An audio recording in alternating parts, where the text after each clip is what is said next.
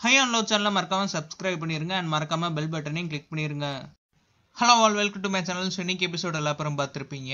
இன்னைக்கு எபிசோட்ல கண்டிப்பா நீங்க இதை நோட் பண்ணியிருப்பீங்க. ரம்யாவோட சிரிப்பு காணாம போயிருச்சு. கமல் மேட்ச்மேன் பாத்தீங்கன்னா பாலா பத்தி தான் பேசிக்கிட்டு இருந்தாரு. அண்ட் போற போக்குல லைட்டா ரம்யா பத்தி பேசினாரு. பட் அதுலயே பாத்தீங்கன்னா ரம்யாவை காலி பண்ணிட்டாரு.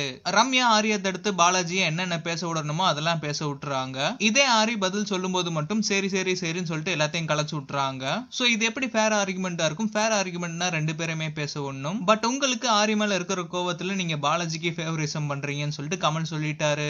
உங்களுக்கு ஆரி மேல கோவம் இருக்கலாம் எல்லாத்தையுமே எடுத்து எடுத்து சொல்றாருன்ட்டு அதே தானே பாலாஜியும் பண்றாரு. ஸோ அவர் மேலே உங்களுக்கு வெறுப்பு இருக்கணும்லன்னு சொல்லிட்டு கமல் கேக்குறாரு. தேவையில்லாம ஒரு சைடுல போய் நீங்களா சொரிக்கிறீங்க உங்களுக்காண்டி நீங்க மட்டும் விளையாடுங்கன்னு சொல்லிட்டு கமல் டேரக்டா ரம்யாட்டே சொல்லிடுறாரு.